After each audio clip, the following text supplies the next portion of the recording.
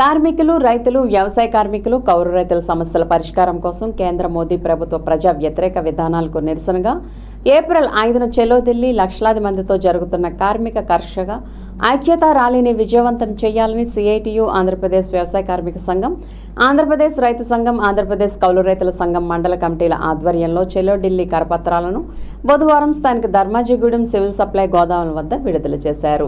April ఐదు చెల్లో ఢిల్లీ కరపత్రాలు విడుదల కార్యక్రమం జరిగింది. ఈ సందర్భంగా వ్యవసాయ కార్మిక సంఘం జిల్లా కార్యదర్శి రామకృష్ణ మాట్లాడుతూ కేంద్రంలో బీజేపీ అధికారంలోకి వచ్చిన తర్వాత ప్రజా సంపదనంతా పెట్టుబడిదారులు కార్పొరేట్లు దోచుకు తింటున్నారని అన్నారు. దేశ ప్రజలపై ఎక్కువ పన్నులు మోపడంతో మధ్యతరగతి సామాన్య ప్రజలు బతకలేని పరిస్థితి ఏర్పడిందని ఆందోళన వ్యక్తం చేశారు. కౌలు రైతులకు రక్షణ లేదని దళితులు గిరిజనులు మహిళలు మైనార్టీలపై దాడులు రోజురోజుకి పెరిగిపోతున్నాయని రాష్ట్రాల హక్కులను కేంద్ర ప్రభుత్వం హరించి వేస్తుందని అన్నారు. కార్మికులకు నెలకు కనీసం వేతనం ఇరవై ఆరు వేలు ఇవ్వాలని రైతులకు మద్దతు ధరల గ్యారంటీ చట్టం తేవాలని సమగ్ర రుణమాఫీ అమలు చేయాలని వ్యవసాయ కార్మికులకు ఉపాధి హామీ కూలీ రోజుకి ఆరు వందలు ఇవ్వాలని కౌలు రైతులకు సమగ్ర చట్టం తేవాలని కోరారు. చెలో ఢిల్లీ విజయవంతం కోరుతూ దశల వారీగా ఇంటింటా ప్రచారం జాతాలు నిర్వహిస్తున్నట్లు చెప్పారు.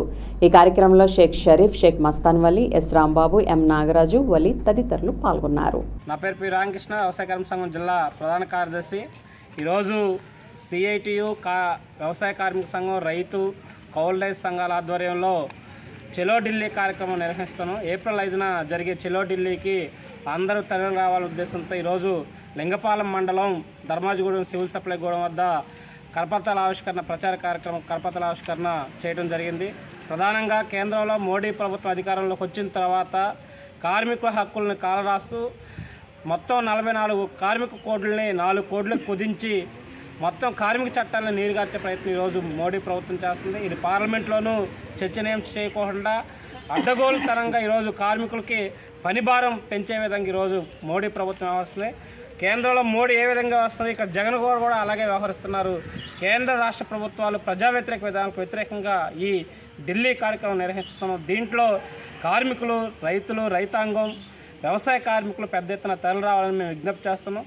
దాంతోపాటే ఈ ప్రచార కార్యక్రమం ముఖ్య ఉద్దేశం రేపు పద్దెనిమిదవ తారీఖు మధ్యాహ్నం రెండు గంటలకి లింగపాలెం మండల సరస్సు ధర్మాజిగూడెంలో సివిల్ సప్లై గూడెం వద్ద నిర్వహిస్తున్నాం. దీనికి ఈ ప్రాంతంలో ఉన్న పేదలు వ్యవసాయ కార్మికులు కార్మికులు సివిల్ సప్లై కార్మికులతో పాటు అంగన్వాడీ కార్మికులు అందరూ హాజరు కావాలని స్కీమ్ వర్కర్స్ అందరూ హాజరు కావాలి. రైతాంగం కూడా హాజరు కావాలన్నది ఈ సందర్భంగా తెలియజేస్తున్నాం. కాబట్టి ఈ సదస్సును జయప్రదం చేయాలి. ఏప్రిల్ ఐదు జరుగుతున్న చెలో ఢిల్లీ కార్యక్రమాన్ని కూడా జయప్రదం చేయాలనేది ఈ సందర్భంగా విజ్ఞప్తి చేస్తున్నాం.